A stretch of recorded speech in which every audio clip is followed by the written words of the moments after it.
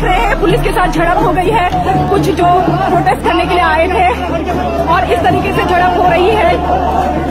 हम विधानसभा के बाहर हैं, जहाँ पर कुछ किलोमीटर दूर हमें रोक लिया गया है और ये अंदर घुसने की कोशिश कर रहे थे, जहाँ पर पुलिस ने चार साल तक वे रहे हैं। उन्होंने कहा ज़रूरत ही नहीं है कानून की। कुछ नहीं करा रहे हमें बहुत ज़रूरत है। हम अपने बच्चों को क्या बोलेंगे? बिल्कुल। इनका मांग है कि बच्चों को क्या बोलेंगे? अगर भूख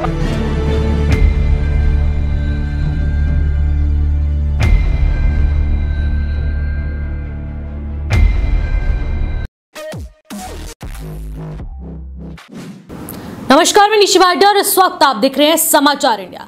आज हमारे साथ वो युवा मौजूद हैं जो सड़क पर लगातार प्रदर्शन कर रहे हैं और साथ ही साथ सड़कों पर उतर कर पुलिस के डंडे तक खा रहे हैं और अपनी बुलंद आवाज़ को लेकर सरकार के कानों तक वो बात पहुँचाने की कोशिश कर रहे हैं जिस पर सरकार अभी तक सोई हुई है।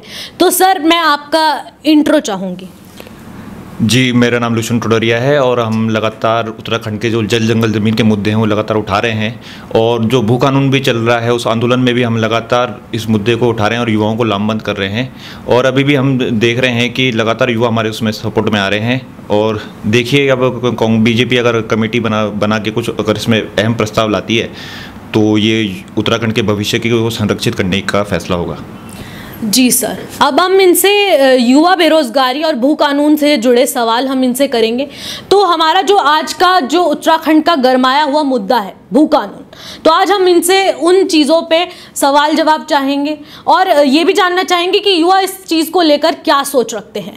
तो सर, मेरा आपसे पहला सवाल जो है, वो है उत्तराखंड का, कि उत्तराखंड की जो सभी पार्टियाँ हैं, वो जिस तरीके से सबसे महत्वपूर्ण जो मुद्दा है, भू कानून का, उस पर लगातार जो है ध्यान नहीं दे रही हैं। और लगातार जो है वो उत्तराखंड का जो एक नारा चला आ रहा है कि अब उत्तराखंड के युवा जो नारा चला रहे हैं, भू कानून आना चाहिए इस बार और सबके हाथों में वही बैनर वगैरह हमें देखा, देखने को मिलते हैं। तो इस पर आपका क्या विचार है कि भू कानून लागू होना चाहिए या नहीं? देखिए, उत्तराखंड राज्य की जो मांग थी, उसके साथ साथ हमें जाना पड़ेगा उस राज्य आंदोलन के दौरान। जब 89 पे जब राज्य के आंदोलन भी चल रहा था तो उस समय उत्तराखंड के जल जंगल ज़मीन और जो भू कानून की बात थी, उस समय सबसे पहले आई थी। तो क्योंकि उत्तराखंड का जो निवासी है, वो हिमालय का निवासी है और हमेशा अपने जल जंगल ज़मीन के प्रति सजग रहता है, संवेदनशील रहता है। तो ये मांग कोई अभी की मांग नहीं है, ये उत्तराखंड आंदोलन के दौरान से भू कानून की मांग थी। और जो तमाम पार्टियाँ हैं, चाहे कांग्रेस है, चाहे बीजेपी है लगातार उत्तराखंड में 20 सालों से राज्य कर रही थी, शासन कर रही थी, पर इनका कोई जो उत्तराखंड राज्य बनने के बाद जब उत्तराखंड राज्य का गठन हुआ था, इसके बाद लगातार कांग्रेस भी आई, बीजेपी भी आई, पर इन्होंने भू कानून के रूप में कोई मज़बूत फैसला नहीं लिया, जिसकी वजह से जो भारी जो भू माफिया है और भारी जो अराजक तत्व के लोग हैं, वो उत्तराखंड में आए और उन्होंने बेहताशा ज़मीन यहाँ खरीदी, जिस वजह से उत्तराखंड को लगातार उत्तराखंड के जो भी आपके हिमालयी जो भी हमारी संरक्षण जो होनी चाहिए थी चीज़ें हमारे जो संसाधन थे उनमें लगातार इनका हनन होता रहा जिसकी वजह से आज उत्तराखंड का युवा क्षुब्ध हो चुका है और अपनी जो आगे की हमारी भविष्य की पीढ़ी है वो भी बड़े खतरे में है। तो अब हमें लगता है कि उत्तराखंड के युवा जो आगे आ रहे हैं और भू कानून बहुत ही अब तत्काल प्रभाव से उत्तराखंड में भू कानून लागू हो जाना चाहिए। वरना उत्तराखंड की जो जल जंगल ज़मीन है, वो अब सिर्फ़ हमें किताबों में दिखाई देगी और सिर्फ़ बूढ़ों अपने किस्सों में दिखाई देगी और कहीं नहीं। जी सर तो किस प्रकार से जो है उत्तराखंड में अगर भू कानून लागू होता है तो उसके बाद उत्तराखंड का दृश्य किस नज़रिए से देखा जाएगा? देखिए हमें ज़्यादा दूर जाने की बात नहीं है हमारा पड़ोसी राज्य है हिमाचल। हम हिमाचल में देख सकते हैं कि वहाँ भी मज़बूत भूमि कानून है। जब हिमाचल राज्य का गठन हुआ था तो पहले मुख्यमंत्री यशवंत सिंह परमार जी थे।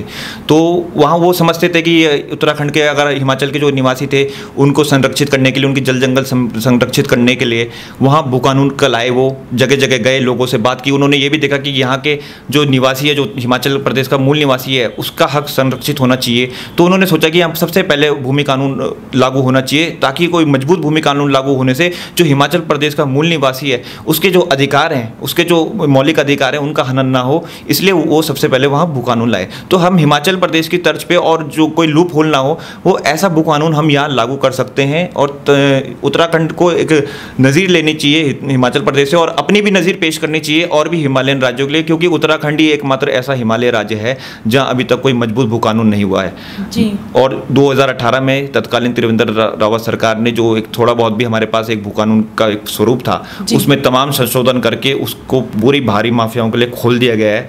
और अब हमारी जो उत्तराखंड का जो भविष्य है और उसका जो जल जंगल ज़मीन के जो प्रति जो उसका भावनाएँ हैं वो अब बड़ी ठेस पहुँची है क्योंकि 143 सेक्शन में तमाम संशोधन किए उसमें एक धारा जोड़ दी गई है कौ धारा जिसमें ये लिखा गया है कि आप एग्रीकल्चर लैंड को नॉन एग्रीकल्चर पर्पज़ के लिए आप खरीद सकते हो और कितनी भी ज़मीन खरीद सकते हो कोई लिमिट नहीं है।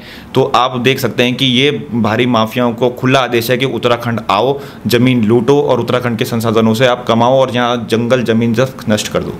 जी सर तो अगर इस आपका मुद्दा बहुत अच्छा है तो इस अगर उत्तराखंड सरकार चाहे विपक्ष की बात की जाए, चाहे सत्ता पक्ष की, सभी लोग जो है भू कानून के जो है साथ है।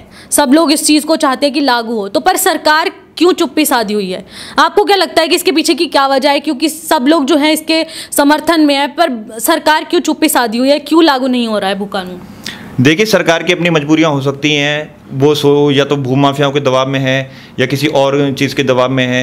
हो सकता है कि सरकार चाहे अगर उन्होंने बोला है कि कमेटी बनाए पर हम कमेटी नहीं चाहते हम सरकार से कमिटमेंट चाहते हैं कि कमेटी से हमें भी पता है कि तमाम कमेटियाँ बनी। मुजफ्फरनगर कांड हुआ था उत्तराखंड आंदोलन के दौरान उसमें भी तमाम कमेटियाँ बनी थी तमाम रिपोर्टें पेश हुई थी पर कोई उसका आपको वो रिज़ल्ट नहीं मिला। तो हम चाहते हैं कि सरकार की जो ये चुप्पी है, ये चुप्पी हमें सोचने में मजबूर कर रही है कि ये जो उत्तराखंड भू कानून की जो बात है तो सरकार की मंशा किस तरफ़ है? या तो वो भूमाफिया को शह देना चाहते हैं?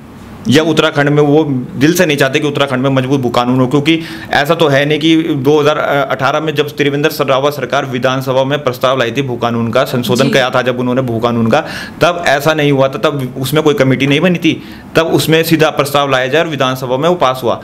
तो क्यों आपको लगता है कि जो पुष्कर सिंह धामी जी की जो मुख्यमंत्री काल में आप वो कमेटी बना रहे हो मानसून सत्र चला जा चुका है और भू कानून का कोई उसमें चर्चा नहीं हुई सत्ता पक्ष के द्वारा।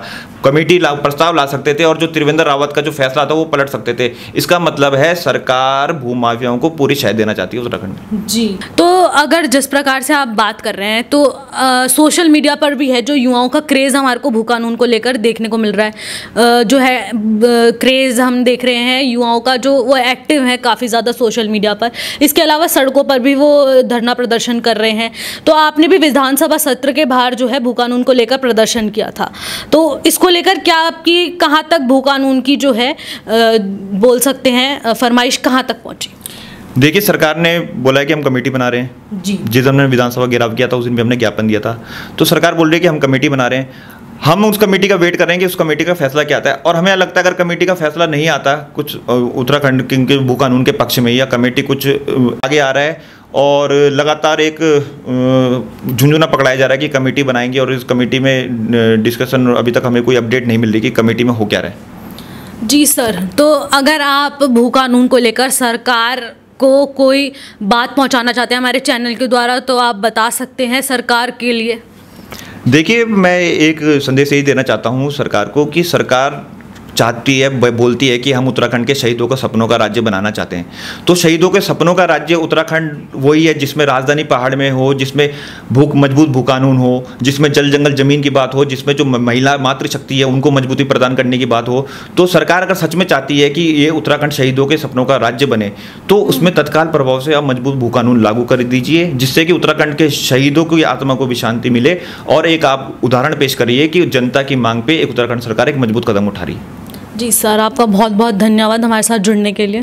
धन्यवाद समाचार इंडिया का भी मैं धन्यवाद देना चाहूँगा कि इस अहम मुद्दे पे और लगातार उत्तराखंड के ज्वलन मुद्दों को उठाते रहते हैं चाहे वो गेट सेंड हो पिताड़ागढ़ हो उत्तरकाशी हो हर जगह की खबरें आती हैं दुर्गम दुर्गम क्षेत्रों की खबर आती है। तो मैं बहुत बहुत धन्यवाद देना चाहता हूँ कि समाचार इंडिया ऐसी मुद्दे आगे भी उठाते रहेगा। बहुत शुभकामनाएँ मेरी। धन्यवाद।